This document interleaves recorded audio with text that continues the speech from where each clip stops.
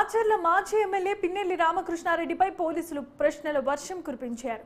మాచర్ల సీఐపై హత్యాయత్నం ఈవీఎం ధ్వంసం కేసులో ఈ ఉదయం ఆయన్ను కస్టడీకి తీసుకున్నారు. ఆ రెండు కేసులు పిన్నెల్లి పాత్రపై లాయర్ల సమక్షంలో విచారించారు. నెల్లూరు సెంట్రల్ జైల్లో ఉన్న ఆయనను రెండు రోజుల కస్టడీకి పోలీసులు తీసుకున్నారు. ఇందులో భాగంగా మరింత విచారణ చేస్తున్నారు. సిఐపై ఎందుకు హత్యాయత్నం చేయబోయారు? ఈవీఎంను ఎందుకు ధ్వంసం చేశారు?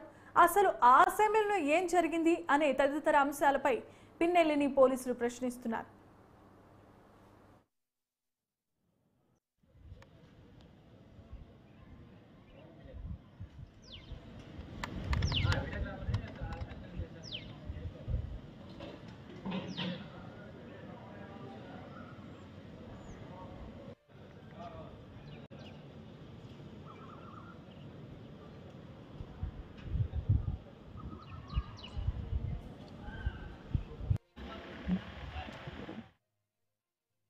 ఎన్నికల సమయం